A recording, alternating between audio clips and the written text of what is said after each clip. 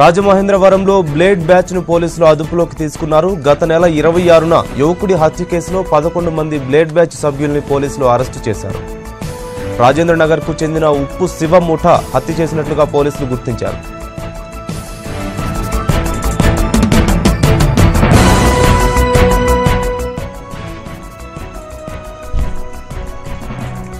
రాజమహేంద్రవరంలో బ్లేడ్ బ్యాచ్ను పోలీసులు అదుపులోకి తీసుకున్నారు. గత నెల ఇరవై ఆరున యువకుడి హత్య కేసులో పదకొండు మంది బ్లేడ్ బ్యాచ్ సభ్యులను అరెస్టు చేశారు.